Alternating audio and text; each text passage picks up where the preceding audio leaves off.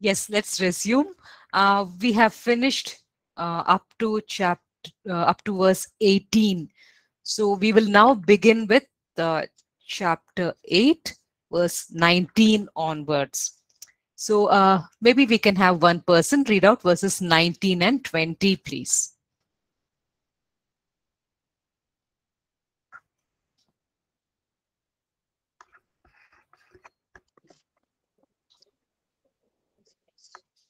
And they said to him, Where is this father of yours? Jesus answered, You know my father as little as you know me. If you knew me, you would know my father also. Jesus said, These things in the treasury while he was teaching in the temple, but no one ventured to arrest him because his hour not yet come.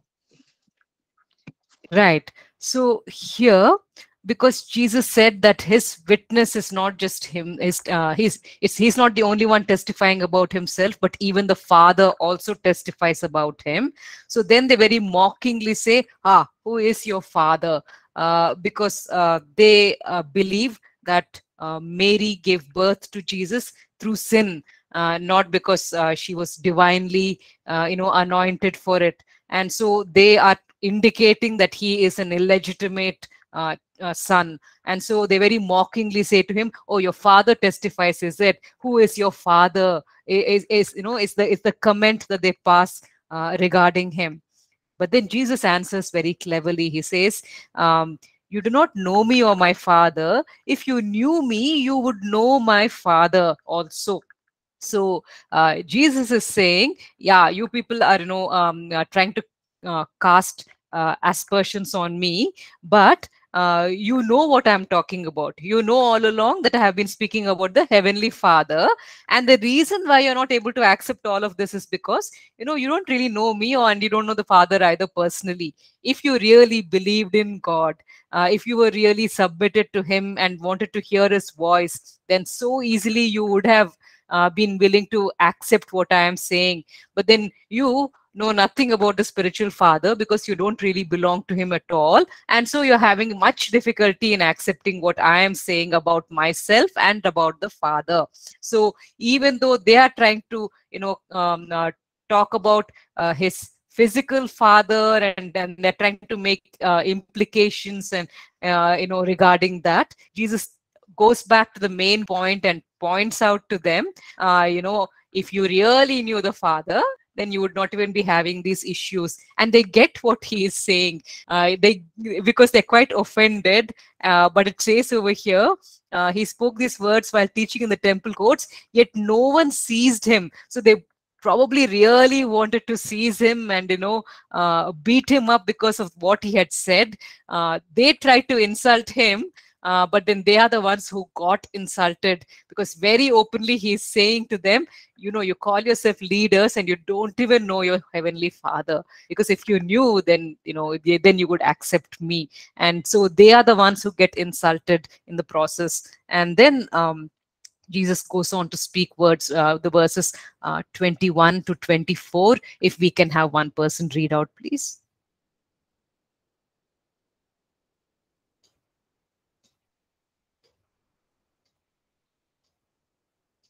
I'll read. Again, Jesus said to them, I will go away. You will look for me, but you will not, but you will die in your sins. You cannot go where I'm going. So the Jewish authorities said, He says that we cannot go where he's going. Does this mean that he will kill himself? Jesus answered, You belong to this world here below, but I belong from above. You are from this world, but I am not from this world. That's yes, so, why. oh yeah, yeah, that, that's it. Uh, up to verse twenty-three. Thank you so much. Um, all right. So here, um, Jesus says to them, you will okay that that would be verse 21 in verse 21 jesus says you will die in your sin where i go you cannot come now, these uh, religious leaders are under the impression that if they die, they will go to heaven. And Jesus is saying, Where I go, you cannot come. So if they are going to go to heaven, then that means Jesus is not going to heaven, you know, in their twisted logic. Uh, so they ask, Will he kill himself? Uh, is that why he is saying, Where I go, you cannot come? Because, I mean, um, uh, uh, it, the Jewish teaching was that if a person committed suicide, uh, then they would be, uh, you know, um, uh, placed in the lowest levels of Hades, uh, which which is uh, you know hell. Uh, so they would be placed at the lowest levels of hell. So if they are going to be die, then they will be going to heaven. But Jesus says uh, uh, they will not be going where he is going. So maybe he is going to hell. You know, uh, look at the way their um, thinking has become so perverted. And so they say to him, "Is he going to kill himself?" And then Jesus, you know, very very plainly says, um, "You you are from below. I am from above. So I obviously will be the one going to heaven because I am from above. I am not even of this world. I have come from there to uh, teach you certain things, to guide you in a particular way through the signs that I am doing, to point you in a in, a, in the right direction. So I am from above. Obviously, I will be going back above. But you people, you will die in your sins. You think that you're going to go to heaven, but no, not at all. You will uh, you know you're the ones who would end up in hades so that's basically the uh, point that jesus is trying to make over here um, um, then in verse 24 he says uh, you know uh, he, he makes a very significant point if someone could read out for us uh, verse 24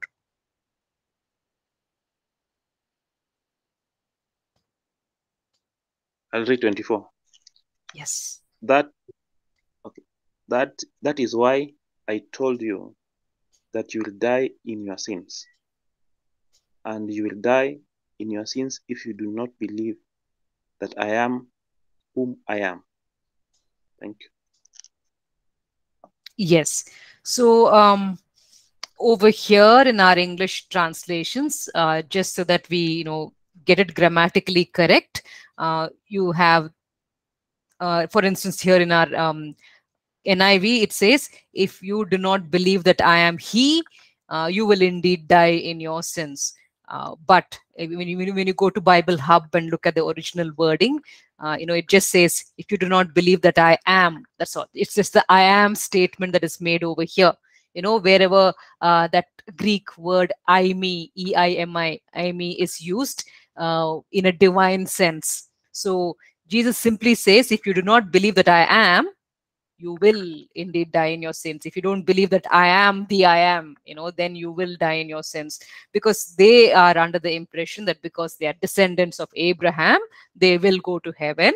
But he is saying that's not the criteria to enter heaven. The criteria is to believe that i am divine that i am the son of god that i have been sent by the father. You must accept this fact because only in that way will you escape hell. Otherwise you know you would have you would be dying in your sins. Your sins would not be uh, washed away. Your sins would not be forgiven. The atonement for your sins will not be done.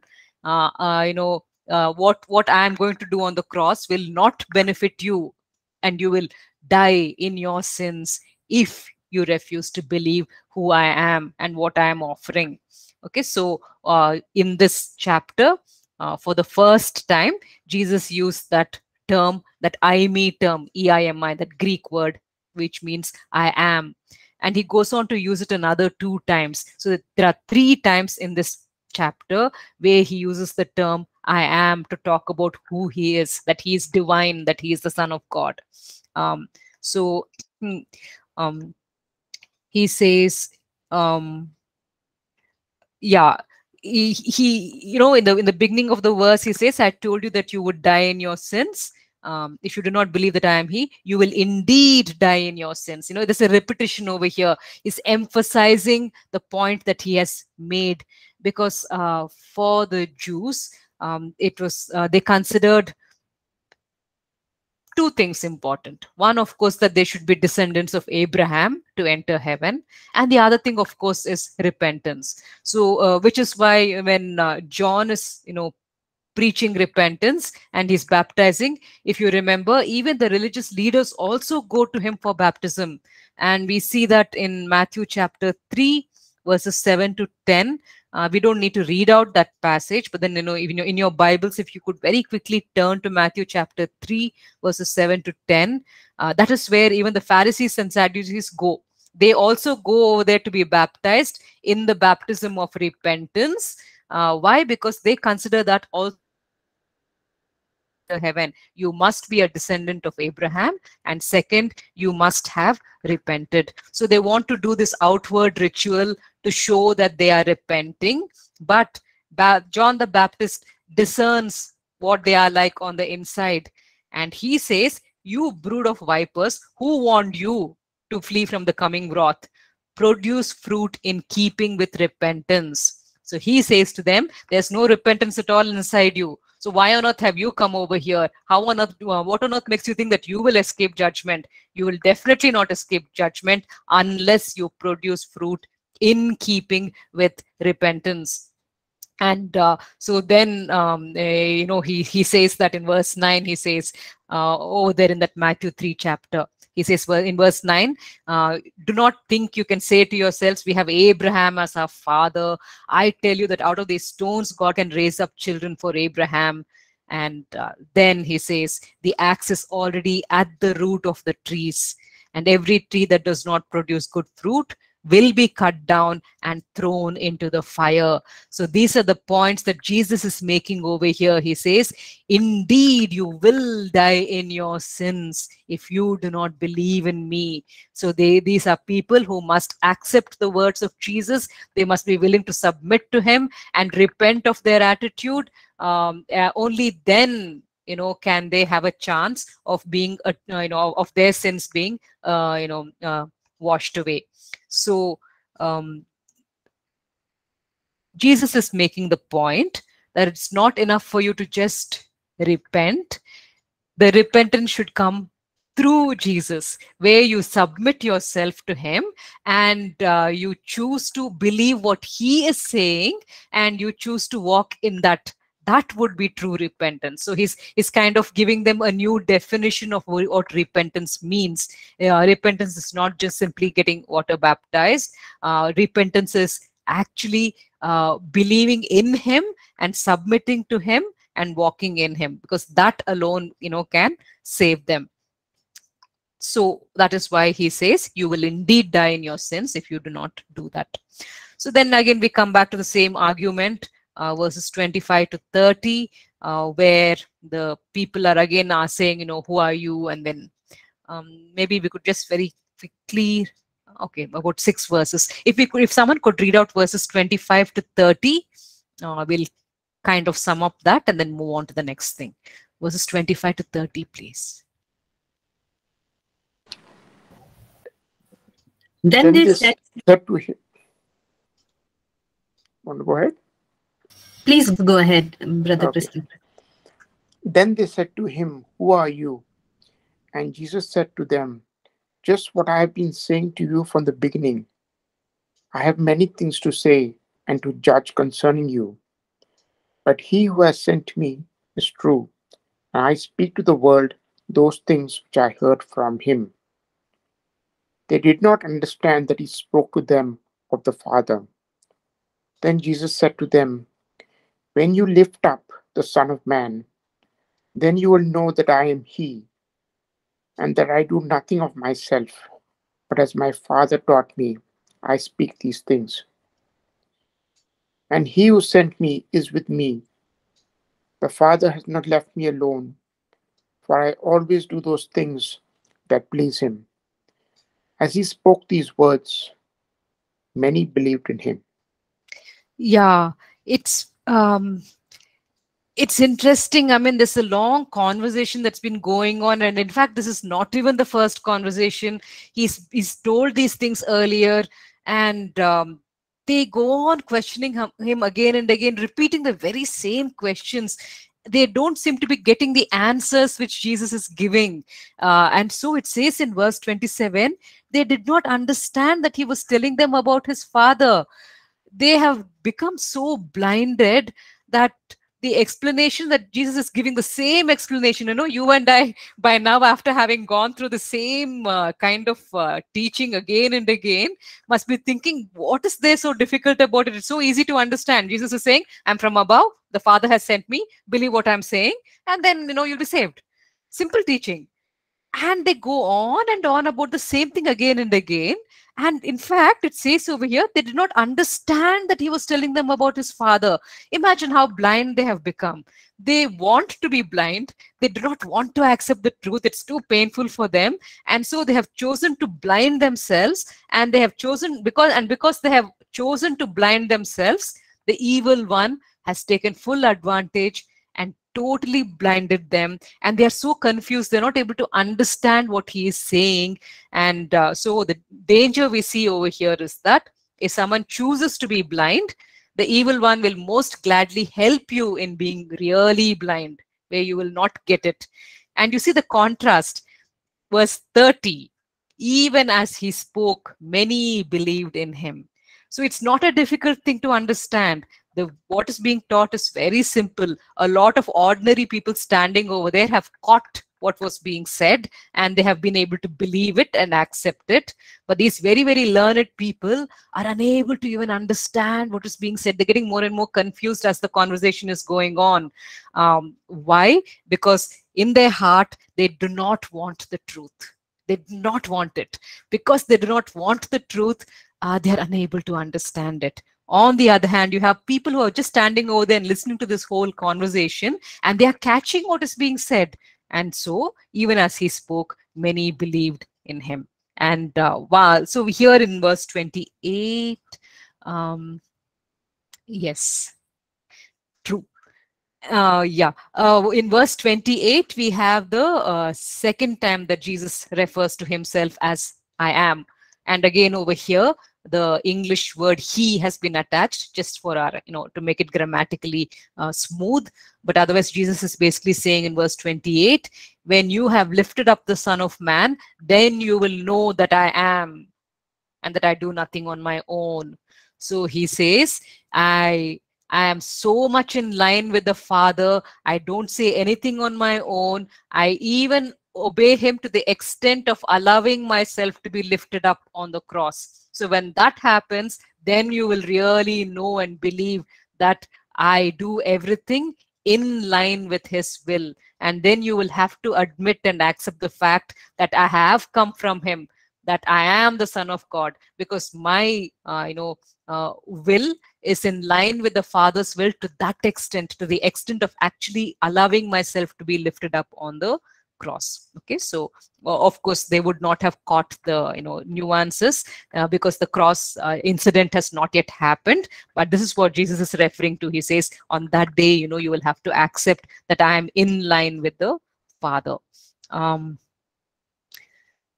yeah and then of course we come to the very famous uh, you know the verses which you know are very widely referred to. Uh, if we could have someone uh, read out verses yeah, just to comment on the, you know, what was said over here, uh, the heart of men uh, is desperately wicked. You know, I mean, it's uh, so true. Uh, and it gets, the heart reaches that stage of desperate wickedness uh, because in their desperation, people do not want to accept the truth. They're willing to, to grab onto anything else which can maybe help them to avoid the truth. So they're willing to go for any theory, any explanation, anything. Uh, they're that desperate. And so, uh, because they are that desperate to run away from the truth, they end up becoming more and more hardened. And uh, yeah, they become desperately wicked. So true. So very true. Yes, if we could have uh, someone read out verses 31 and 32.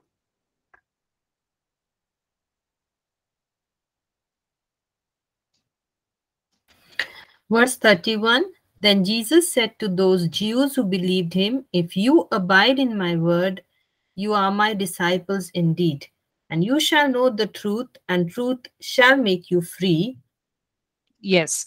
Uh, so, um, in the scriptures, you know, like I'm sure you've been uh, told before, um, you have um, two kinds of knowledge, two kinds of truth being given.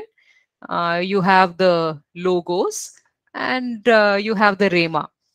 All of God's word is the word of God. It is logos. It has been given to us uh, to you know educate ourselves, to know that this is what God regards as the truth. This is what God regards as the right thing. So uh, we have all of the word of God being given to us uh, to, to know the truth. And then uh, you have the Rhema word, where God takes a certain particular truth, one particular teaching, and He impresses it upon your heart for one particular situation. You maybe you're facing some particular um, uh, circumstance, and in that particular circumstance that you're going through, um, this particular revelation will be useful to you. So God picks up that one single truth and he impresses it upon your heart and it becomes very personal to you during that uh, event that you're going through. Um, and then there is another kind of truth which you don't really, uh, you know, learn just in your head. It comes through experience. And so it's this third kind of thing that Jesus is talking about over here.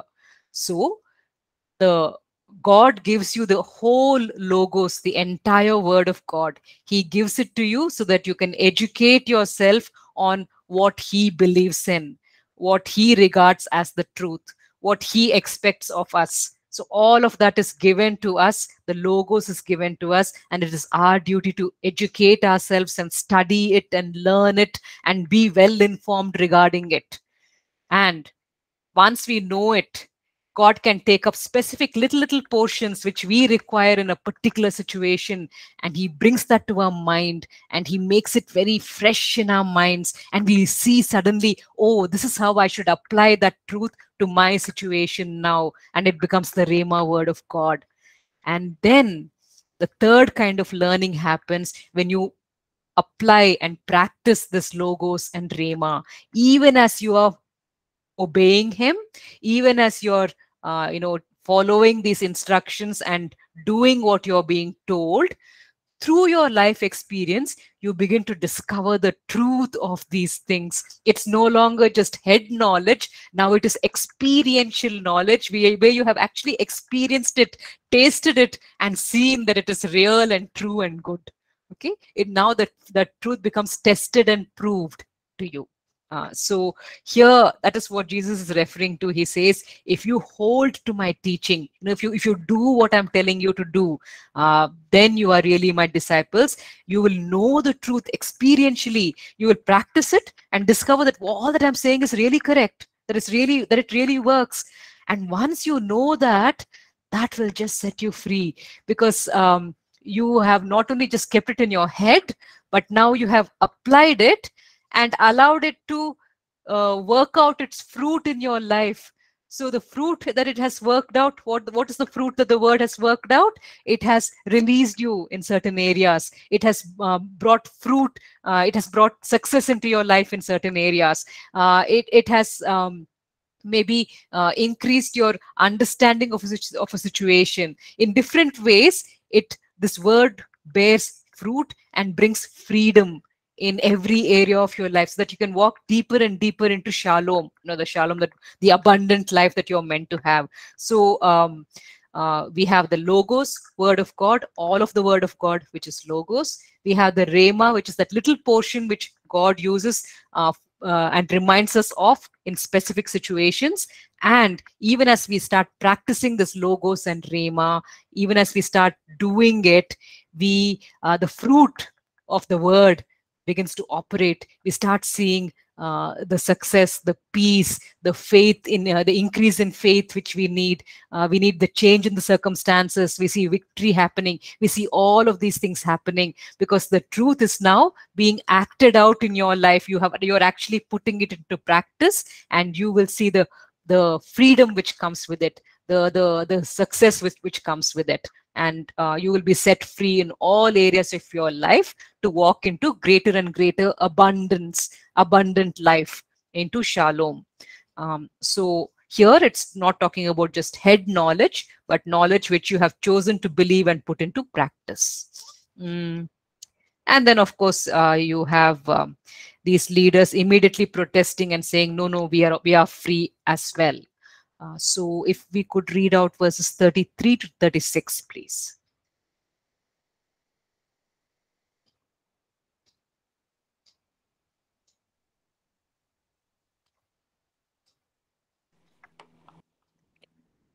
They answered him, We are Abraham's descendants and have never been in bondage to anyone. How can you say you will be made free? Jesus answered them, Most assuredly, I say to you, whoever commits sin is a slave of sin. And a slave does not abide in the house forever, but a son abides forever. Therefore, if the Son makes you free, you shall be free indeed. Yes, so um, they are not accepting what Jesus is saying and putting it into practice in their personal lives. And uh, so he's unable to set them uh, free and cause them to walk into abundant life. You know, they're unable to achieve that. They're unable to reach that because they are not submitting to his word, believing it, and practicing it. Uh, so uh, they are like slaves who live in a house in a, in a household you know back in those times um, back in those times uh, not only would the family members be living in uh, you know in, in that large joint uh, family uh, but you would also have all the servants and slaves and all of them also living over there. So because these would be large setups you know. So when, when we when we think of house uh, we think of a little apartment with maybe two bedrooms or three bedrooms. And uh, but you know the houses of those times were not like that. Um, each time there would be there are more people you know joining the family. You would just have add an extra room. You know you would build an extra room and that becomes an extension of the original house.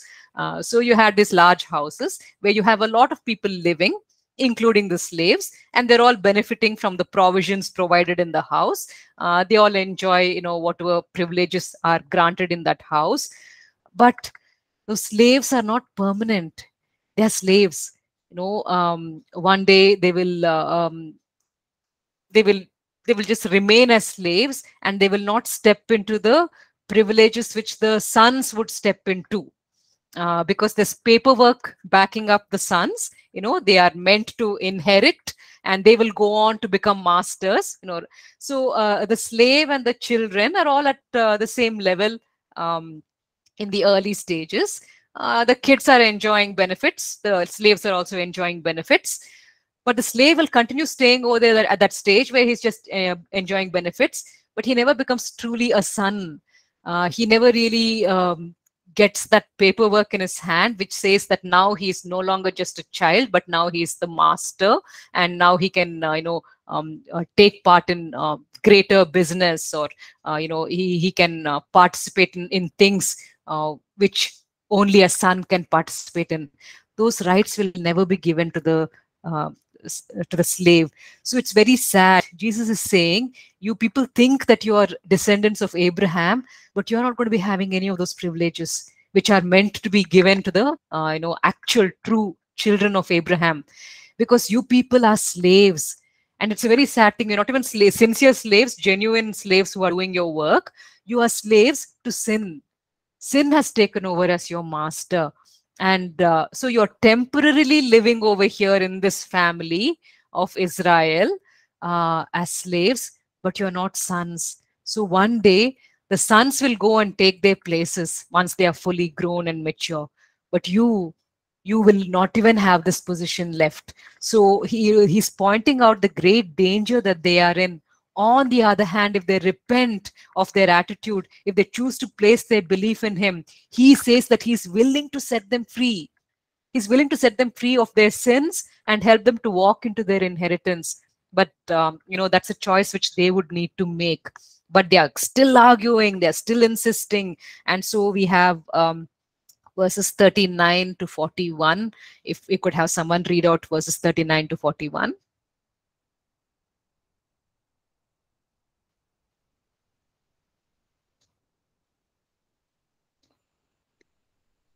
41. Yes. They, an- they answered him, Our father is Abraham. If you really are, if you really were Abraham's children, Jesus replied, you will do the same things that he did. And all I have ever done is to tell you the truth I heard from God. Yet you are trying to kill me. Abraham did nothing like this. You are doing what your fathers did. God Himself is the only Father we have. The answer. Okay. Yeah. Yeah. So um, here we have uh, yes thank you so here we have um, jesus saying if uh, and so they they insist and they say you know abraham is our father and uh, then uh, jesus says if he was really your father then you would do what your father does. Because abraham uh, what did he do when messengers came to him from heaven? He received them. He was open to what they were saying you know which we see in genesis chapter 18 uh, where uh, messengers were sent to him from heaven and he uh, believed what they were saying and he accepted it. On the other hand now someone a greater messenger has been sent to these people and uh, these religious leaders are rejecting him they are not accepting him so he says he repeats the same thing he says in verse 40 abraham did not do such things when Abraham, when, when those messengers came to Abraham, he did not conspire to kill them, but these people are doing that. And so he says, No, no, no, your father is not Abraham. Your deeds, your, your actions show that your father is somebody else. And he goes on to talk about how they belong to the evil one rather than to the Lord. Um, and uh, so when when they say that um, the people are very angry um, yeah uh, so we have verse uh, 41 where they say we are not illegitimate children. They protested. The only father we have is god himself. So again this may be a slur against you know, jesus. They're again trying to uh, you know uh, mock him. Uh, so they are saying you know at least we know who our fathers are. Uh, but then you claim that you know you are the result of a virgin birth. So you know um, we at least know who our human father is and we also have god as our father. Um, um, and so they again mock him. Um, and then uh, maybe we can go to verses mm, 48 uh, yeah then 46 47 jesus says you know i I mean if you really think that uh, i'm not who i say i am then you know you can point out my defects. You know so he says uh, um, can can any of you prove me guilty of sin and that's a question you know if you if you look at the next few verses nobody comes forward and says okay you have done this this this. So it's an amazing testimony. They could not find a single uh, thing that they could accuse him of. So uh, he is true in all that he is saying and they're not able to question his integrity regarding his lifestyle.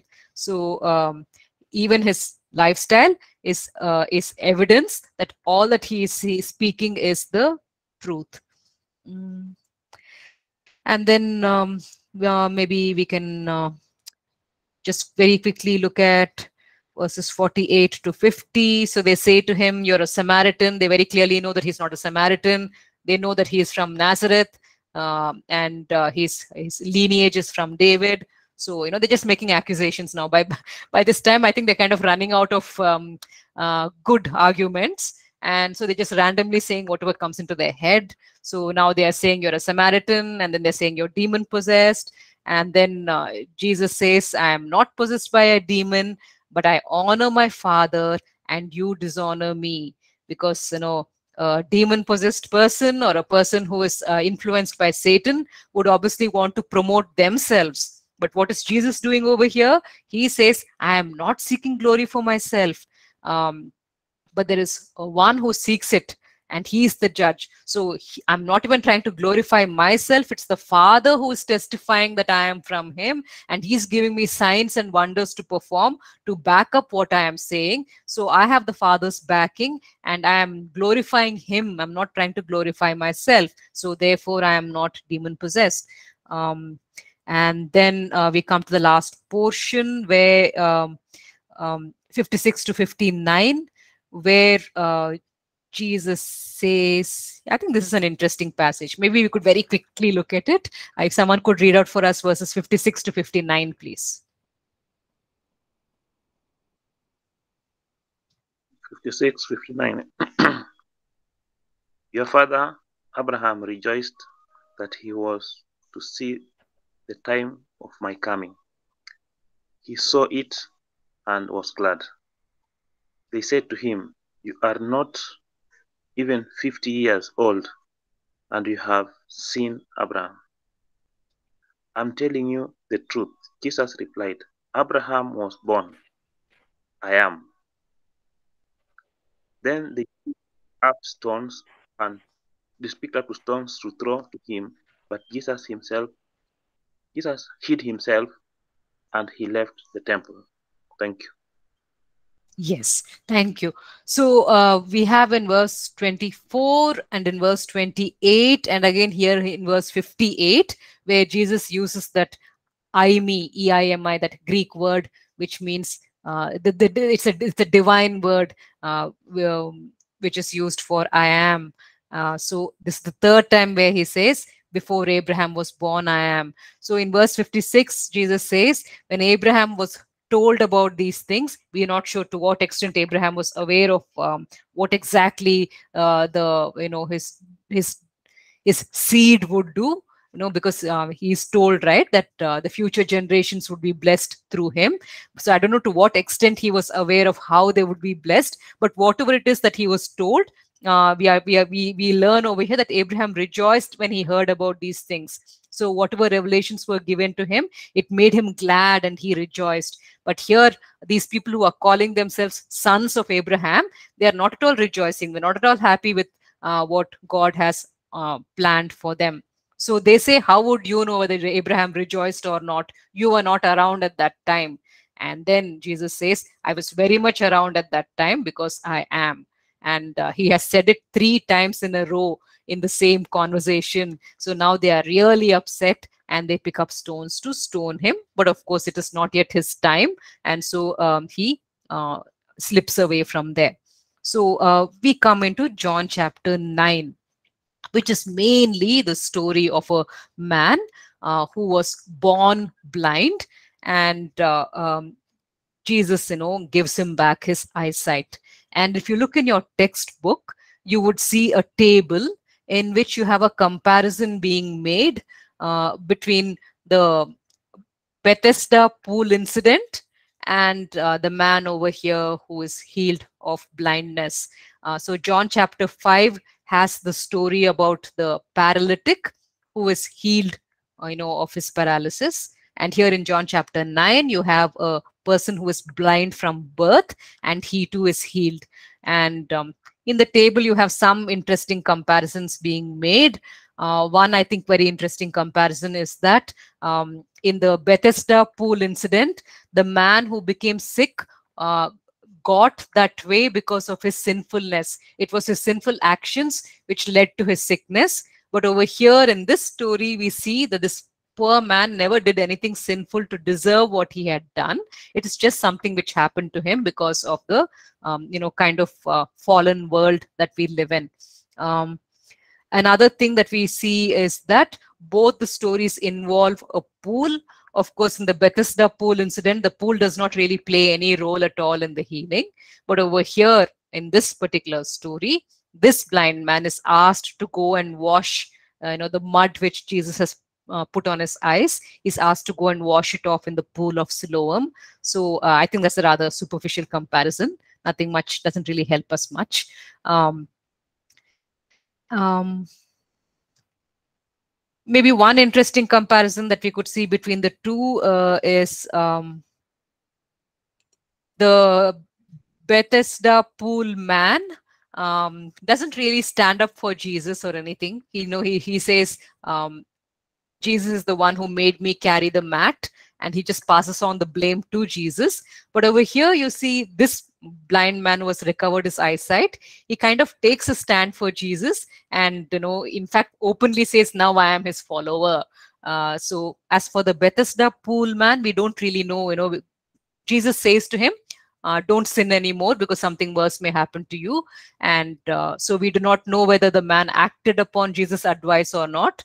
Uh, but over here, we very clearly see that this blind person, uh, he uh, takes a stand for Jesus and he decides to become a follower. And in fact, he worships him, is the wording that is used uh, about him. Um, so, to very quickly go through some of the main things in this story. Um, maybe if someone could read out verses 1 and 2.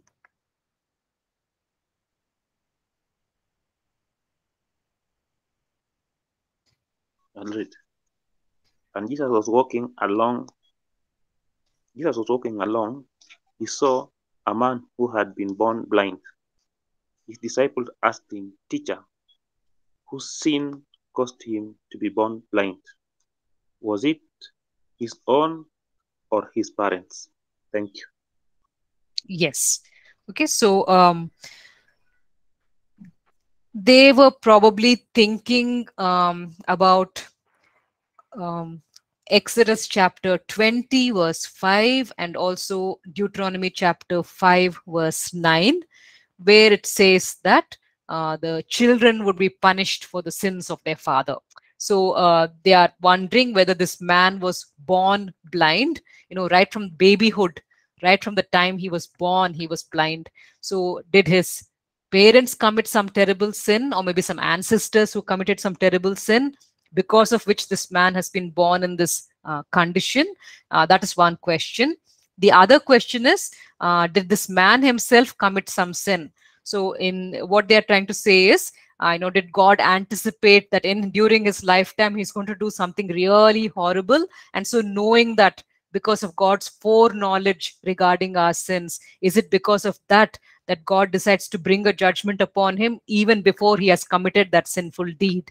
okay so they they mean it in that sense um, and uh, jesus of course replies and says no no this man has not committed any any terrible sin and nor have the parents sinned in any way Rather, this is just going to be one occasion where God gets in one more chance to display his glory. Okay, so um, so uh, we could say, you know, what learning can we take away from this?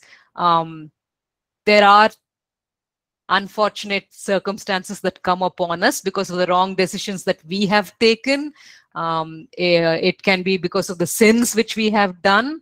Uh, so uh, sometimes things may go really bad in our lives and we may end up with a lot of suffering and a lot of trials because of the sin in our lives and because of the wrong decisions which we took without God's guidance. That could be the case. On the other hand, certain things just happen to us because we are living in a in an imperfect world. Other people do things to us. They are the ones who are sinning and we are the innocent victims of their sin and we suffer because of what they have done. So it could be any of those uh, uh, you know uh, reasons because of which the suffering has come. But one thing we can take away from this verse is that you can just see it as one more occasion where God can display his glory. So it doesn't matter whether um, you know the, the suffering has come because of my own stupidity and my sin uh, or because of something that someone else has done. Uh, whatever the source may be, there is hope in the Lord. You know, uh, he is a God who is willing to um, uh, to display his glory in our lives and help us uh, and bring us out of that situation. He's willing to deliver us. So we can always have hope that whether it is our fault or whether it is someone else's fault, if we can just go to him humbly, you know, uh, with, with an attitude of uh, submission, uh, then he will be willing to display his glory in our lives and act on our behalf. Um, coming to verses 6 and 7 where jesus you know um yeah i think maybe we should read these two verses. If someone could please read out verses 6 and 7.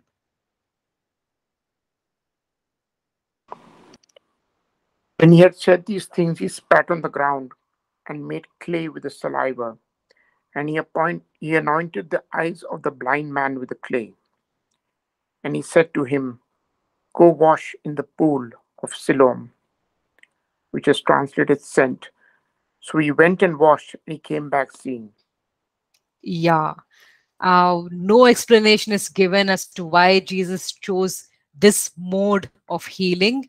Um, it seems rather messy and uh, unhygienic. Uh, but you know, all we can um, um, we can just maybe try to make some assumptions or you know draw some inferences.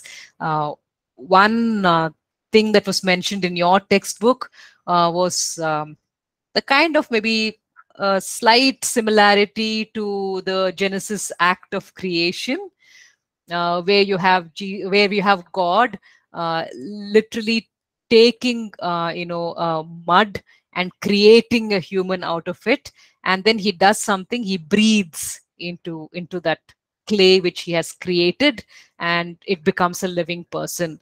And uh, so over there in that incident, uh, you had uh, breath being released. Here you have uh, saliva being used. So, is Jesus doing this with some kind of spiritual significance in mind? Maybe, you know. Um, uh, it's something from him uh, that he's putting in that mud. Mud is just mud. Uh, you know, uh, uh, there's no life in it, there's no restoration or healing in it. But Jesus adds saliva to it, and now it is no longer just mud, there's something of the living god. There's something of the you know um, creator in human form. Uh, so there's something of jesus in that mud now. And uh, so this man goes over there and washes his eyes and he's actually able to see so maybe there's some kind of uh, um, uh, spiritual significance uh, because jesus as the creator god who was there in creation when, when the first human was created now he is using saliva over here to um, restore this man's eyesight in this remarkable way. So we can only make assumptions. And of course jesus very very deliberately chooses to do this on the sabbath as it is pointed out in verse 15, 14 and um, there's in fact an explanation that um, jesus gives about why he is doing it on the sabbath. Um, he says you know um, as long as it is day we must do the works of him who sent me. So um, now is the time for healing. Jesus, jesus has come onto the earth to to do these things to deliver people from the from the stronghold of satan uh, to to know to re- redeem them from the consequences of sin. And so as long as it is day as long as uh, his crucifixion time has not yet come he has come over here to do the works of him who sent him. And so it doesn't matter to him whether it is a sabbath day and whether the pharisees have made any rules regarding the sabbath day that is irrelevant. Only what the lord only the laws and commands given by god uh, you know those matter. And so man-made pharisaical rules about the sabbath don't apply. And so god cho- jesus chooses to continuing do, doing the works of the father even on the sabbath day. Um, and then uh, we move into uh, verses 17 to 23 where the pharisees question the man's parents and uh, uh, they say you know is it really true that jesus healed him? And the parents do not want to take a stand. They are afraid uh, that they would be excommunicated. And so they just say you know why are you questioning us? You talk to him directly. He's the one who got healed. Let him you know speak for himself. And uh, so we come to verses 24 to 34 uh, where uh, the healed man uh, he speaks up and he says uh, that you know this um, maybe we should leave this passage for next class because it's nice uh, some of the things that he says. It it would just take maybe about five minutes or so um, so it wouldn't really interfere with next week's uh, portion. So we'll deal with um, john chapter 9 verses 24 onwards uh, at the beginning of next class. All right. Um, anyone has any questions? Uh, otherwise, you know, we can conclude with a word of prayer.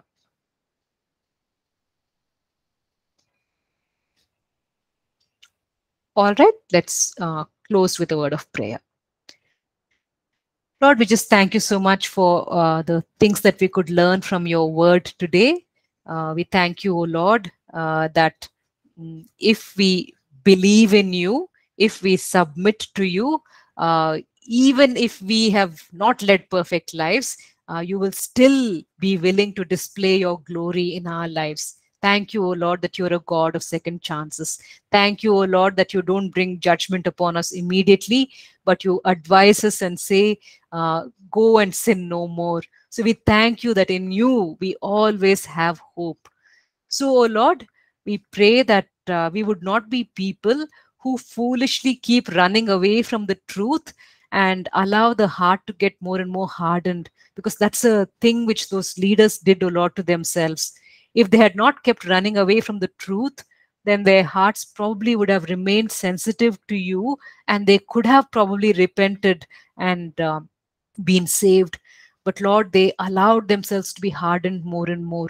So oh lord whenever you speak uncomfortable truths to us help us o lord uh, to humble ourselves and accept even those uncomfortable truths. We pray that they would we would not make the mistake of running away from the truth trying to hide from it because that leads to a hardening oh lord and that's so dangerous. We pray oh lord that you would guard us against th- those things. And lord all the things that we have learned today in today's lesson uh, bring these uh, truths back to our mind oh lord as and when we need it in our own lives. Thank you lord. In jesus name amen.